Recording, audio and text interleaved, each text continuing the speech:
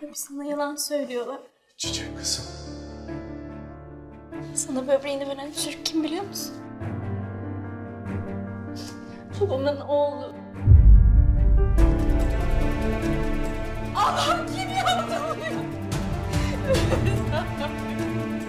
Eğer çocuklarıma bir şey yaparsan seni yaşatmam.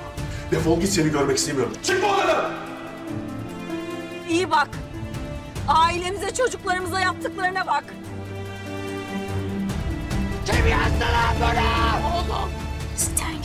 Gidecek.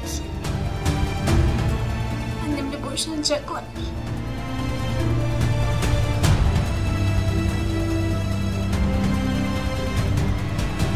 Babam ve Ailesi yeni bölümüyle pazartesi akşamı Kanal D'de.